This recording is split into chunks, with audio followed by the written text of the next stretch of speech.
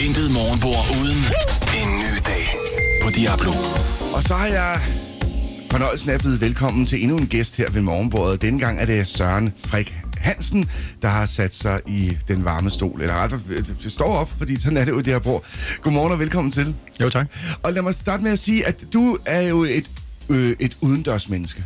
Det må man nok sige. Jeg har det allerbedst, når jeg er ude under åben himmel, eller nogle træer med kroner på. Ja, og øh, jamen, du har jo altså klatret hele livet. Du har taget uddannelse som øh, altså træ- og vægklatrer, men så har du også taget uddannelse i, hvordan man, øh, altså hvis man gerne vil være underviser, ikke? Jo, øh, og øh, altså væginstruktør og, og træklatreinstruktør, det er jo også i at undervise andre i, hvordan man, man klatrer mest sikkert. Men øh, det, jeg gør mest i lige i øjeblikket, det er jo at vise folk rundt øh, i, i trækroner nede omkring Holstens Hus. Ja, for grunden til, at jeg inviterede dig i studiet, det er jo, at øh, snart er der sommerferie. Om halvanden uge går skolernes sommerferie i gang. Og det er jo altså samtidig startskuddet til, at man skal have noget at lave i sommerferien. Og der faldt jeg over Holsten Hus Klatrepark. Kan du ikke lige starte med at fortælle helt præcis, hvor, hvor finder man jer henne? Hvor ligger det? Ja, altså udover at vi selvfølgelig har en hjemmeside på nettet, så rent fysisk befinder vi os øh, et lille stykke øh, øst for øh, Forborg. Øh, ja, cirka 5 km øst for Forborg. Ja. Lidt inde i landet. Øh, så, øh, men øh, ved øh, det gamle gods Holstens Hus. Og øh, udover det gamle gods, så er der altså også et, et, øh, et kæmpe anlæg til, og det er der, I har Holsten Hus Klatrepark. Øh, I er kører på 6. sæson nu. Hvordan kom I i gang? Jamen, øh, det hele startede faktisk som en teambuilding virksomhed, øh, noget der hed Target People, øh, hvor de så byggede, øh, byggede banen som teambuildingsbane. Men øh, det var så lige øh, starten af finanskrisen, så det gik ikke så godt øh, umiddelbart, så de røg ind i en konkurs. Og øh, klatrebanen, den, øh, den fortsatte, øh, og så nu står jeg så som øh, forpagter af det, og det er mig, der, der driver det. Ja, og i praksis, jamen, der er det alle mulige forskellige folk, der kommer ud. Jeg ved, at i eftermiddag har du et stort arrangement for nogle skoleklasser, øh, men det er for stort set alle, ikke? Ja, altså man skal jo selvfølgelig være i en sådan i stand til at bevæge sig øh, rimelig fornuftigt. Det er ikke... Øh, jeg plejer at sige, det er en skovtur, bare lidt højere. Ja. Så, øh, så det er... Jo, altså det, det er ikke så, så sindssygt vildt. Nogle synes, det er rigtig vildt, andre synes, det er bare en dag mere på arbejde, fordi øh, jeg havde nogle... Øh, var den heldige situation, jeg havde nogle øh, Vestas øh, folk, øh, der var vant til at montere vindmøller ud. De synes, ja. bare, det var, de synes bare, det var sjovt at bevæge sig. Ja. men, men prøv at høre, altså der er jo mange former for klatring. Altså der er i mange altså, hvad hedder det, altså idrætscenter og sådan noget, de har også noget, der hedder rappelling, altså med de her ja. sten på væggen. Men, men præcis, hvad er det ude i Holstenhus Klatrepark? Fordi det er jo sådan lidt ligesom at gå på line, ikke? Jo, noget af det er at gå på line. Noget af det, det bevæger sig lidt mere end en line, og øh, noget af det, det er sådan ganske øh, stille og roligt, fordi det er en platform rundt omkring træ, man står på. Så det, det føles ret, øh, ret solidt lige der. Men så ellers, så kommer man ud imellem, ved, ved aktiviteterne imellem træerne, så kommer man ud og bevæger sig på forskellige vis, og noget af det er, føles lidt mere øh, stabilt end andet. Men øh, det er jo også... Øh, ja. Og jeg synes jo selv, jeg har et ret godt job med at, at spille dejlig musik her om morgenen, men jeg tror, at du har et fantastisk job med at give folk fede oplevelser. Ja, det er helt rigtigt. Det er fantastisk at få lov til, og nogle gange så er der nogen, der er lidt, øh, lidt, får lidt kriller i maven, når de er lidt, lidt ja. oppe i højden. Og så øh, hjælpe dem til at, at, at komme lidt ud over kanten. Jeg har sådan en dejlig historie med, med en uh, pige, jeg havde for, derude for nogle år siden, der sad i en svævebane i ja, 9 meters højde, 10 meters højde. Øh, og hun turde ikke rigtig at komme væk fra platformen, ud og hænge i selen uh, på svævebanen. Og få hende, uh, der egentlig sidder med tårer i øjnene og er bange på det tidspunkt, men har et utroligt meget stærkt ønske om at, at komme ud og køre på den svævebane der og få hende ud og køre reelt på svævebanen. Hvad, og, hvad gjorde du?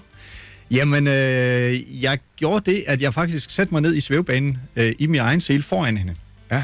Øh, og hjalp hende, og var sådan, så havde mine ben nedenunder der, hvor hun, øh, hun sad.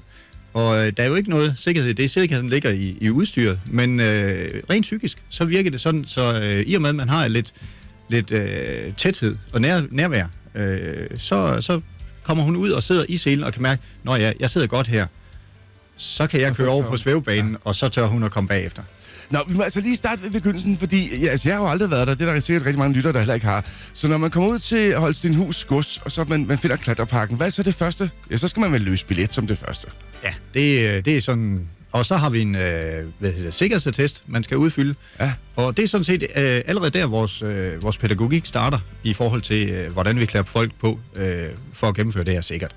Fordi sikkerheden, det er primært det vigtigste, fordi øh, vi vil gerne have folk, de trækker vejret både, når de kommer der til, ja. og når de kommer derfra igen. Ja. Så, øh, og, og igen, alle folk har lært at gå på fortov, øh, så alle kan også lære at have mindst en karabin sat fast. Øh, Ja, for Altid. his, hi- historien er jo, altså det der er lidt specielt ved det her, det er jo, at altså, nu, der, der er svævebane ene sted, og så det andet sted er der nogle lignende. Det, det, altså de forskellige måder, man kommer rundt Ja. fra trætop til trætop. ja, Øhm, en af de ting, der er, der er også nogle udsigtsposter, altså, hvor, hvor man kan, hvor man kan sådan stå på lidt mere stabil grund, ikke?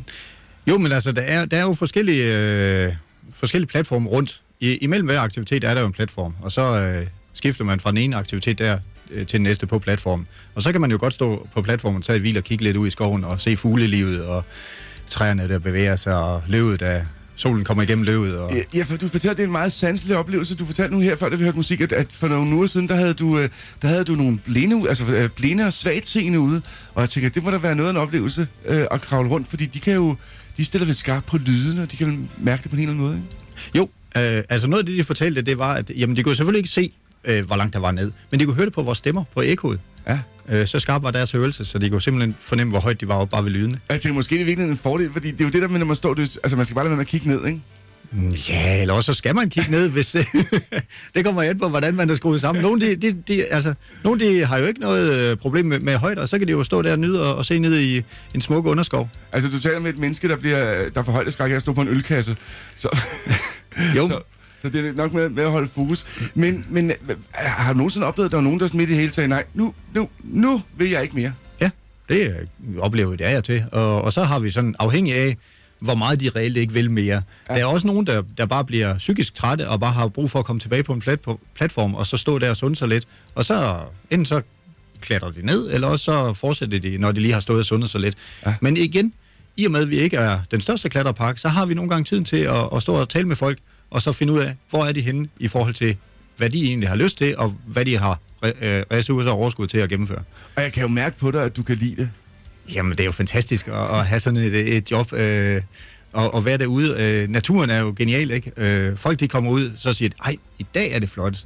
Men, øh, Men du altså, ser det hver dag, du ved, at det er flot hver dag. jamen, det er det faktisk. Og, ja. og den ene, øh, jamen, så, så, så, starter med, at træerne er helt døgne, så kommer der lysegrønne blade på, så bliver de mørkegrønne, og til sidst så bliver de så farvet og falder af. Jeg vil sige, altså du har jo forbevist mig, på trods af, at jeg øh, bliver... Øh, jeg får højdeskræk, når jeg står på en ølkasse. Fordi det lyder jo som om, det, der er også rigtig meget at vinde ved at få sådan en oplevelse, ikke? Jamen, det er der da i hvert fald. Øh, altså, man får jo en fantastisk oplevelse, uanset om man går i skoven, eller om man så øh, kommer lidt op i højderne. Øh, og så øh, oplever vi jo rigtig meget samvær derude, øh, når folk kommer derud. Øh, fordi, Det, du siger, det er sådan noget med, der, er- altså, der er dialog. Ah, hvordan klarede du det, og hvordan gjorde du det, og hvordan kom man det? Ja. Ja, de første par aktiviteter, der plejer folk at være lidt stille, for det er nyt, og, og, og man skal koncentrere sig lidt der, hvad, ja. hvad er det, jeg skal her. Men så begynder dialogen ellers at være der, og man kommer lidt hen til nogle svævebaner, der nogle gange giver nogle høje vin. Og øh, jamen, så er det igen samarbejdet med, hvordan går jeg her, laver du den aktivitet, hvad gør jeg lige her, og, øh, og så videre. og øh, der er jo åben altså i sommerferien, det er fra den øh, 4. Øh, juli, og så hele vejen frem til midten af august, at der er åben hver dag fra kl. 11 til 16. Hvor lang tid øh, skal man sætte af?